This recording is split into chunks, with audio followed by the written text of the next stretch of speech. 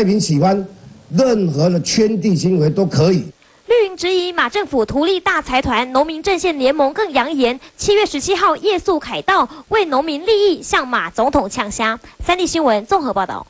好，提到农地呢，要做别种的开发。最近呢，最引发话题的莫过于是苗栗大埔开发案，引发农民反弹。他们实在受不了政府呢运用公权力，三更半夜的把这个推土机呢直接进到农田，把即将收成的稻田给摧毁了，甚至也走上街头去抗议。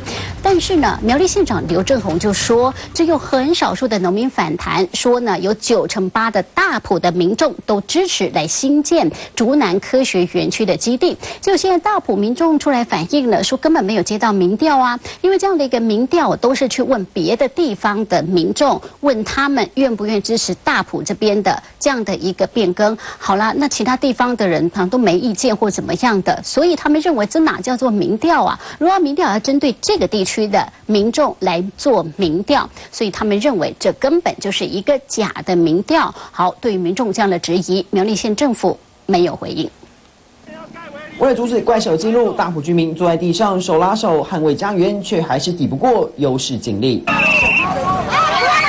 县长刘振宏强调，当初做民调，有九成八的民众都赞成新建竹南科学园区，只有少数居民不愿意。只不过刘县长口中的民调，苗栗县民却不知道这数据打哪来。最少我接到就大概六桶。你知不知道湾宝那边要设工业园区？那你赞不赞成？那我就问他说：“可是我户籍，我我你知道你你打这个电话户籍在哪里吗？我不是湾宝那边的。”结果他说：“没关系，没关系，我们是随机。”明明不住在苗栗湾宝，却被问赞不赞成在湾宝社区新建工业区，也难怪民众扣印质疑民调有问题。我不住在后龙，嗯嗯，哦，那我说我对这个我没什么意见。我在大埔里，我的这支电话，我时常会接到。